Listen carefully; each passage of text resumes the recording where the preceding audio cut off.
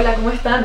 Estamos aquí en la Escuela Online de Ilustración Botánica para contarles que a partir del próximo 6 de mayo iniciamos un curso increíble que no se pueden perder. Se trata de Proyecto Naturalista.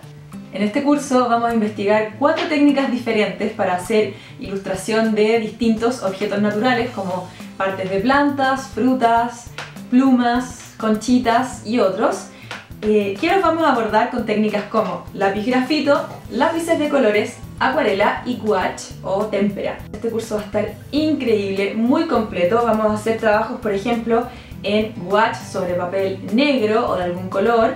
Eh, vamos a trabajar mezclando acuarela con lápices de colores, como lo hice aquí en este tomate, y un montón de otras cosas y trucos que les van a servir para poder empezar o continuar con su trabajo de ilustración de naturaleza. Pueden escribirnos para saber más a escuela.gemaquinon.com así que están todos invitados a pasarlo bien y aprender mucho en un curso más de la Escuela Online de Ilustración Botánica. Nos vemos.